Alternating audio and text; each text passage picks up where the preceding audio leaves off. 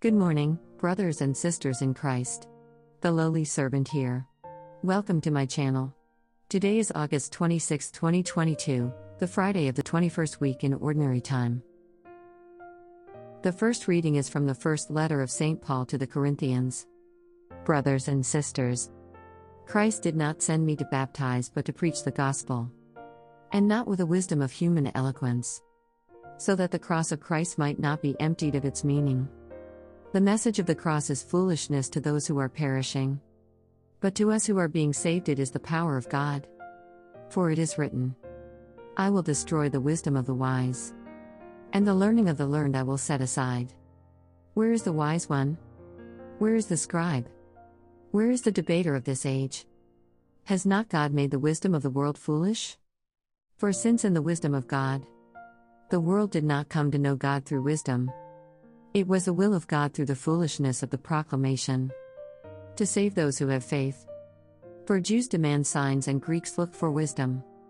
But we proclaim Christ crucified, a stumbling block to Jews and foolishness to Gentiles.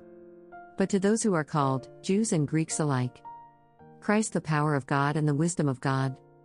For the foolishness of God is wiser than human wisdom, and the weakness of God is stronger than human strength.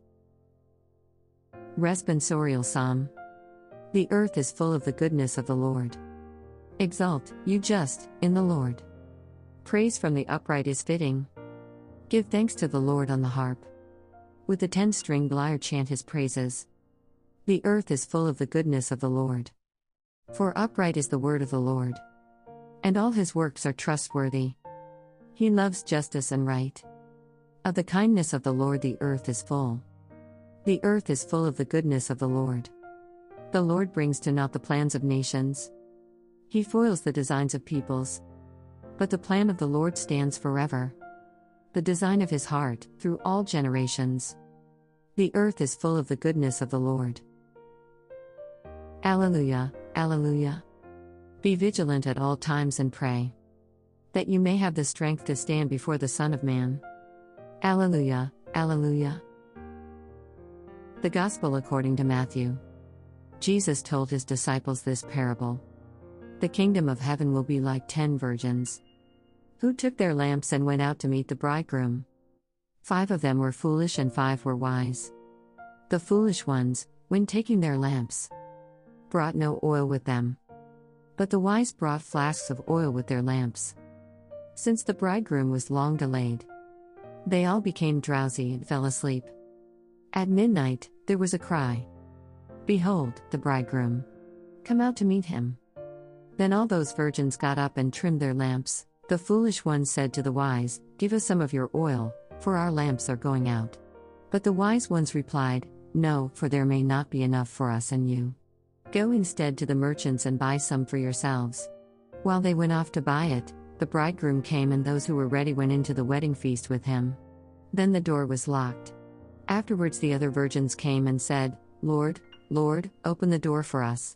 But he said in reply, Amen, I say to you, I do not know you. Therefore, stay awake, for you know neither the day nor the hour.